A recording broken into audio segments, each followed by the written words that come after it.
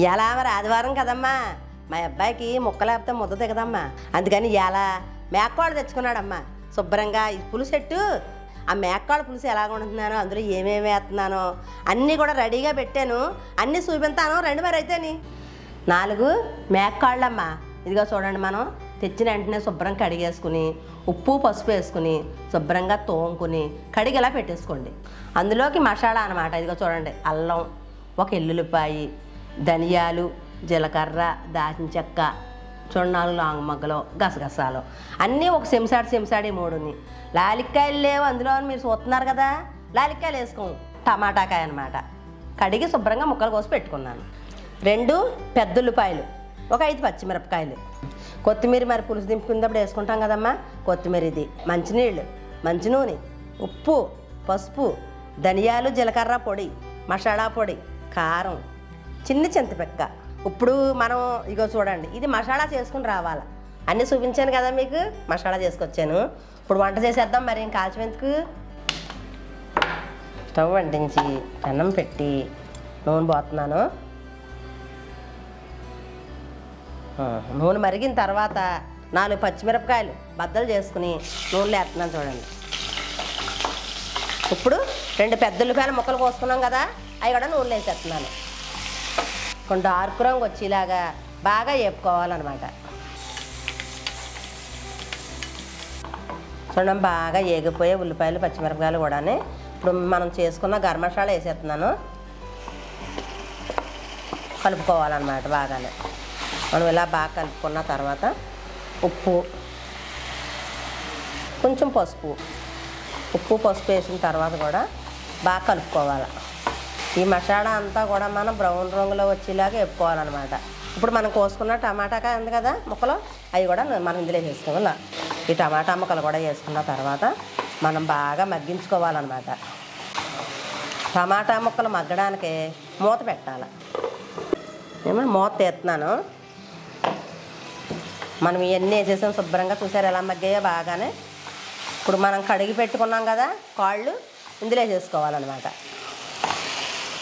రోజుకు ఒక రకమైన చీర చూపిస్తాను మీకు నచ్చిన వాళ్ళు ఆర్డర్ చేసుకోవచ్చు మేము వెంటనే కొరియర్ చేసేసి మీ ఇంటికి పంపించేస్తాం.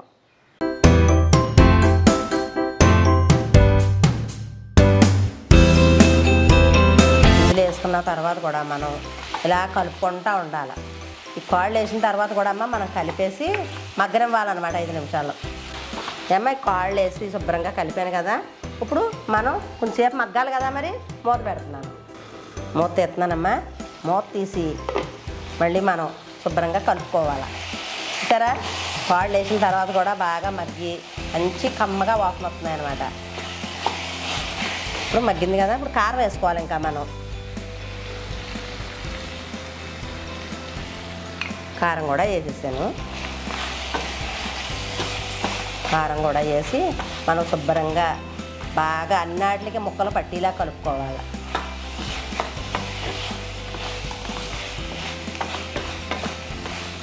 కలిపిన తర్వాత మళ్ళీ మూత పెడుతున్నాను. మూత తీస్తున్నాను. మూత తీసి మళ్ళీ మనం శుభ్రంగా కలుపుకోవాలన్నమాట. కలిపాం కదమ్మా? శుభ్రంగా కలుపుకున్న తర్వాత. ఇదిగో చూడండి చిన్న చింతపెక్క మీకు కనిపిస్తుందా? ఇది పెచ్చి కానీ ఉట్టు కానీ ఏమి ఉండదు చూడండి ఇదిగో. ఇదిగో చూడండి. ఇలాగ ఉన్న చింతపండు మనం ఒక్క పెసరు ఇలాగ వేసేసుకుని ఈ నూనెలో మగ్గించేసుకోవాలన్నమాట ఈ ముక్కలతో పాటు. మనం ఆ ఒక్క పెసరు చింతపండు వేసుకోకపోతే మన కాళ్ళు పులుసు రుచి ఉండదమ్మా ఉప్పు టమాటా వేసి ఊరుకుంటే మూత పెట్టేస్తున్నానమ్మా మళ్ళీ కొంచెంసేపు మగ్గాల. మూత తీసమ్మా మనం. ఇప్పుడు మనం నీళ్ళు పోసుకోవాలా. ఇదిగో చూడండి నీళ్ళు పోతున్నాను ఏంటంటే కొద్దిగా నీళ్ళు ఎక్కువ పోసుకోవాలి మనం. ఏమ్మా? ఏంటంటే కాళ్ళు ఉడకాలి కదా మరి. ఒక్కో చుట్టు ముద్రయ్య అవ్వచ్చు లేతయ్య అవ్వచ్చు అందుగురించి మనం కూరలో కొద్దిగా నీళ్ళు ఎక్కువ పోసుకుంటాం. సరే మూత పెడుతున్నాను. ఏమో పావు గంట అయింది మూత పెట్టి. మూత తీసి చూద్దాం మరి. చూడమ్మ ధనియాలు జీలకర్ర పొడి వేస్తున్నాను కొంచెం. అలా కొద్దిగా మసాలా పొడి.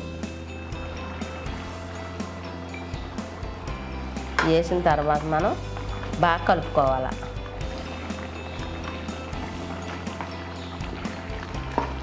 కలిపాను కదమ్మా. ఇప్పుడు మనం కడిగి పెట్టుకున్న కొత్తిమీర ఉంది కదా కొత్తిమీర కూడా వేసేస్తున్నాను. కూర అయితే దగ్గర పడిపోయింది. స్టవ్ కట్టేస్తున్నాను. స్టవ్ కట్టేస్తున్నానమ్మా.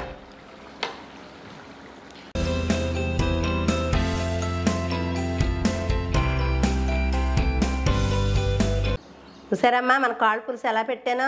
మీరు కూడా నేను ఎలాగైతే పెట్టానో అలా పెట్టి మీరు పులుసు ఎలాగున్నది తిని చూసిన తర్వాత మాకు కామెంట్లో పెట్టండి ఎలాగున్నదని. మీ కాళ్ళు పులుసు కనుక నచ్చినట్లయితే మన వీడియోకి లైక్ చేయండి షేర్ చేయండి సబ్స్క్రైబ్ చేయండి పక్కన వెళ్ళి టచ్ చేయండి. Bye bye.